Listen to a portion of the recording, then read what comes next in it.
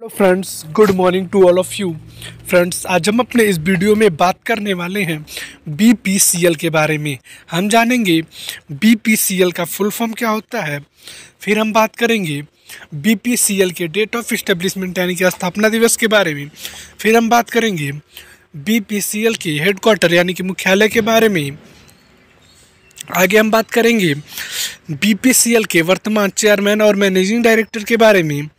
फिर हम देखेंगे पेरेंटल डिपार्टमेंट ऑफ़ बीपीसीएल और हम लास्ट में बात करेंगे वेबसाइट ऑफ़ बीपीसीएल के बारे में।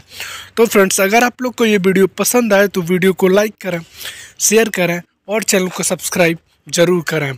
फ्रेंड्स मैं आदित्य गुप्ता स्वागत करता हूँ आप सभी के अपने channel G K and G S update पे।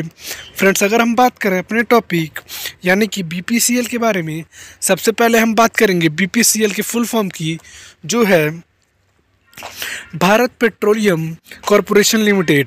तो फ्रेंड्स, आगे अगर हम बात करें, इसके डेट ऑफ़ इस्टेब्लिशमेंट यानी कि स्थापना दिवस के बारे में सो फ्रेंड्स बीपीसीएल यानी भारत पेट्रोलियम कॉरपोरेशन लिमिटेड की स्थापना सन उन्नीस सौ बावन में हुआ था। फ्रेंड्स, आगे अगर हम बात करें बीपीसीएल के हेडक्वार्टर यानी कि मुख्यालय के बारे में तो friends, Bharat Petroleum Corporation Limited का मुख्यालय मुंबई में स्थित है।